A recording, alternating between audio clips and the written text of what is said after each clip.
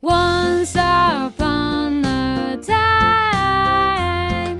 In a busy town, Benny, a joyful bear, saw that something was missing, a place where everyone could enjoy yummy treats. Wanting to fill the town with the sweet smell of baked goods, Benny decided to open Benny's Happy Bakery, a cozy spot for tasty cakes, pies, and cookies. Benny asked quick squirrels and friendly birds to help him bake and create a menu of delicious treats. Together, they baked yummy treats and decorated the bakery with colorful displays to attract everyone passing by. When the bakery opened, the town filled with the delicious smell of fresh pastries and people came to Benny's Happy Bakery for tasty treats.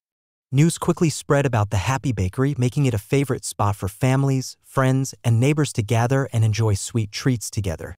Benny, the bakery bear, kept baking with love, making sure Benny's Happy Bakery stayed a friendly place for everyone in the town to enjoy yummy delights and share happy moments.